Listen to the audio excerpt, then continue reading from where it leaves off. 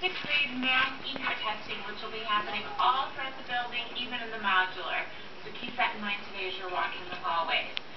Our uh, character trait for April is kindness, as we talked about. I have a thought like always, and so do Kira from Miss Kenny's class, and Regina. Regina's going to give a big wave from Miss Kenny's class, and they both have thoughts on kindness.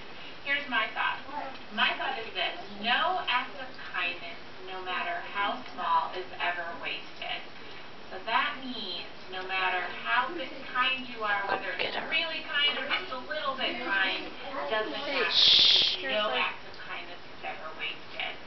So keep that in mind today and always. Kira, you want to go first, or Regina, you want to go first? Um, Regina, oh, all right. Regina, you're up. Go ahead and share your thought about kindness to everyone.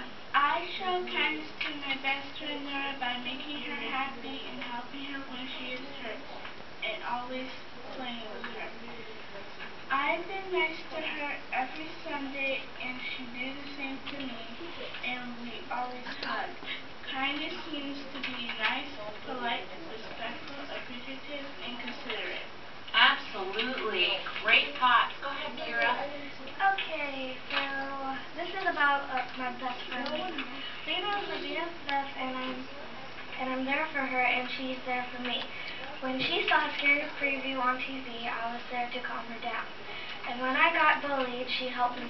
She helped me out. Lena is the best thing that ever happened to me, and so is and so is kindness. No matter so no matter what, be kind, W M E S. Be kind. Exactly what I said. She said no